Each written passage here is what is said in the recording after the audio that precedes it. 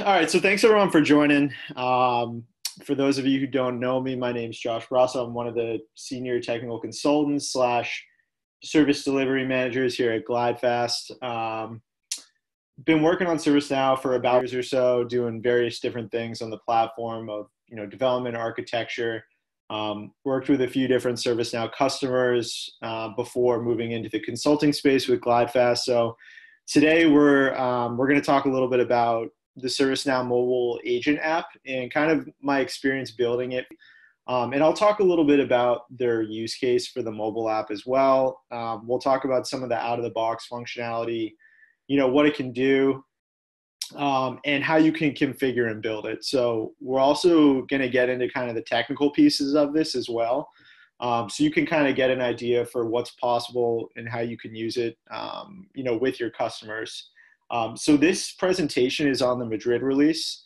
So um, this is, you know, the mobile agent app is new to Madrid, and there is a lot of new stuff coming out in New York as well. So ServiceNow is doing a huge push uh, for mobile right now. This is like um, a big thing they've been getting into. They bought out a company who did mobile design solutions um, a few years ago, and they've really been integrating it w- with their product. Um, but yeah, that's kind of just a little bit of background. So that being said, I just have a few slides here. I'm not going to bore you with this. So just a quick overview, the agenda, what is the ServiceNow mobile agent app um, overview. Then I'll go into a demo of actually showing you what I did, um, showing you how it works on my phone. I have my phone connected to my computer here. So I'll actually show you what I built um, and how I built it and everything. And then if everyone is, uh, we'll save some time just for, for questions as well at the end.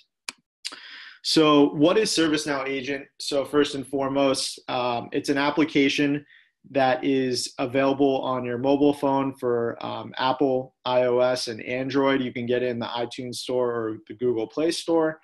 Um, you can do things like updating records, you know, coordinating with coworkers, location-based stuff. Um, one of the biggest things that I think is really cool, and especially for the use case that I'm going to talk about in the app, is offline mode.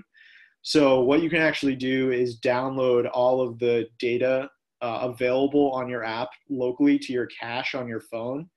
And you can actually do things on the app when you have no service. And then when you reconnect and have service again, it uploads it to the cloud. So that's like a huge perk, especially for things like field service management um, and PPM, which I'm going to talk a little bit about of a PPM app I built uh, but this like kind of change, this changes a lot how um, people are able to do their work, especially with you know those applications like field service management. So we'll talk a little bit more about that, but you know the use case is not only for end users. You can really build the mobile experiences now for not only end users, you can build it for um, ITIL workers as well, or people who are actually, you know, doing the work, right? So field service agents, project managers, whatever your um, persona is, you can really fulfill their use case by being able to build these um, these applications. First and foremost, what comes out of the box with this? So there's two applications which ServiceNow has in Madrid out of the box. So the first is Field Service Mobile. Um, so this is kind of taking the whole field service management app and actually they they built a mobile solution for it. Um, so this is a pre-built thing, and you can do thing where field service agents and dispatchers. You can do work orders. You can manage assets. Um, you can track locations of where agents are in the field, um, and they can actually, you know, record travel and time worked all from their phone. Um, and this is the solution I did is very similar to Field Service Mobile, but it's more catered toward a custom PPM solution, which I'll talk about the other thing that you get out of the box is is ITSM. Um, so you get you know you can assign incidents to your group. You can add comments, um, work notes. You can upload pictures, files, you know any attachments you want. Uh, you can upload photos, and you can do all of that um, from your phone, and that will show up in the activity log. Um, you can pretty much do a lot of things. You can do approvals, obviously and the big thing about this is just the user experience um, on mobile. It's much better in this app, and it gives you way more power to, as a developer, to actually configure the app the way that you want. Um, it's a lot of drag and drop. It's a lot of configuration. It's not a lot of coding, um, which is really nice. I did a little bit of coding for this, but it was, I would say, about 80% of this was done all through configuration. I didn't actually, I probably only wrote uh, 20 lines of code for the whole mobile app that I did. Um, so that's how I did that. And so let's talk a little bit about the main components of the app, right? So this is kind of the the language when we're talking about um, the different technical pieces of what the app is made up of. So you can really think of the highest level of this as um, folders and applets, right?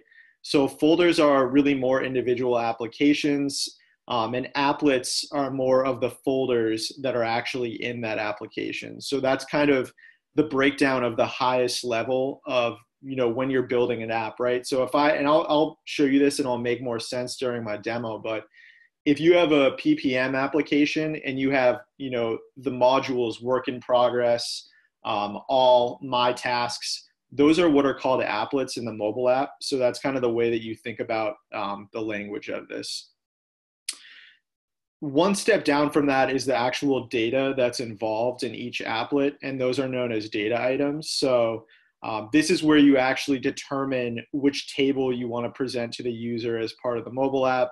Um, so if you want to select the project task table or the incident table, you configure all of that in a data item. And what you actually do is you then tie together data items and applets. So applets are kind of the folder and the data item is the data that's actually displayed inside of the applet.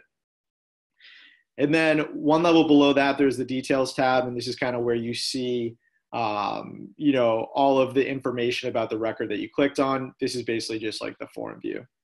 So, what can you configure? What can you do with the application? Um, before in the mobile solution, you couldn't really do that much. You didn't really have a lot of flexibility to design it the way you want. Um, but with the new mobile solution, you have a ton of ability to be able to configure and customize it the way you want. So, applications, folders, icons, um, data items, you can configure different screen layouts. So, this is a big thing depending on what you want to show on the list view it gives you like 15 of these pre-built different layouts that you can use to display on the list view. Um, you can configure what shows on the header and the form as well as the fields. You can do list swipe functions. So if you're going through a list and you want to swipe to the uh, right or left, um, you can actually take certain actions. So for those of you who are familiar with Tinder or other applications like that, um, you know, you have the ability to do those uh, right or left swipe functions and then have certain database actions occur. Um, you can do action buttons. So in the top right, if you see these like three ellipses here, um, you can add buttons and then have certain database actions occur based on that. Um, you can do related lists, offline mode properties, so you can determine which things you can and can't do offline on the phone. Um, you can do UI policies, so hiding and showing fields and you can do push notifications through JSON as well. Um, so if you want to, you know, push notifications to the mobile app, you can do push notifications um, through a few different things, and we'll kind of talk about how you can set up push notifications um, through the the mobile app. Um, along the bottom here, so you can have your details, the activity stream, um, the related lists, and we'll talk about the different tabs on the bottom of it, um, and we'll kind of go through that. So as part of push messages, and what these are is, you know, when you get an alert, if it's the same thing, if you have Facebook on your phone and someone posts on your wall, it sends a push notification to your phone. Same concept with ServiceNow. Um, so the kind of the three different pieces of this are the push, the push message content. So this is where you're actually defining the content record um, of what's what the user is going to see. Um, the push message is where you actually are defining um, you know the the message content right that you created in the previous step. And then you actually have to configure when it sends as well. So similar to how you know how an email notification works um, you're basically creating the notification record of when the when a task gets assigned to me i actually want this to notify me within the app as well so offline mode is another piece um, from within here that has a ton of really cool functionality. So if you go off, let's say you get to a customer site, you no longer have service and you still want to be able to access your app. Um, if you come into the settings tab of the phone here, you'll see that there is a line item called offline. And what you can actually do is you can activate offline mode and it's going to actually download all of the data that's available to you on your phone um, to, to the local cache of your phone here. Um, so it's going to do things like it'll download all the attachments, all the records that you have access to. Um, pretty much anything that's on there at the current time, you'll be able to access. And the way that you actually do this is you need to enable the offline support plugin uh, through the HI portal. So you'll need to go in and actually request this be activated um, all from within there. So once it downloads, um, you can take all kinds of different database actions on your phone. Um, you can set tasks to work in progress, you know, so on and so forth. And then as, as soon as you reconnect, it's going to re-upload it and update the records. Um, so I think it gives you like a 48 hour window or so. Once it downloads to your cache, you need to reconnect to the internet um, or you need to get service again within that 48 hour window to re-upload it to the cloud so all those records will get updated. Um, and there's I'm an administrator in this instance, so the download is going to take a little while because I have you know hundreds of records available to me. Um, but this is where you could go ahead and actually do that. Um, so that is kind of you know a quick overview of the mobile app.